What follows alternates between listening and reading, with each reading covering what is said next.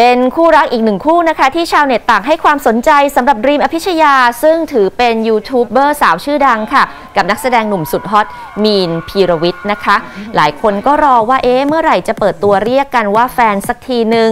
ซึ่ง Dream ก็บอกกับเราว่า ในเรื่องความรักตอนนี้ก็เรื่อยๆ นะ ศึกษากันไปไม่รีบ แล้วก็ไม่ได้ปิดอะไร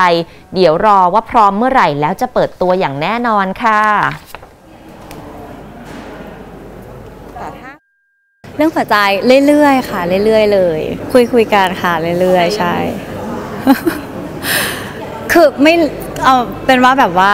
เรื่อยๆละกัน ก็เดี๋ยวไม่ได้รีบร้อนอะไร จริง ๆ ก็ไม่เราก็ไม่ได้ปิดนะรู้สึกว่าก็ไม่ได้ปิดขนาดนั้นตั้งแต่แรกอะไรอย่างเงี้ยค่ะ แล้วก็ทำตัวปกติ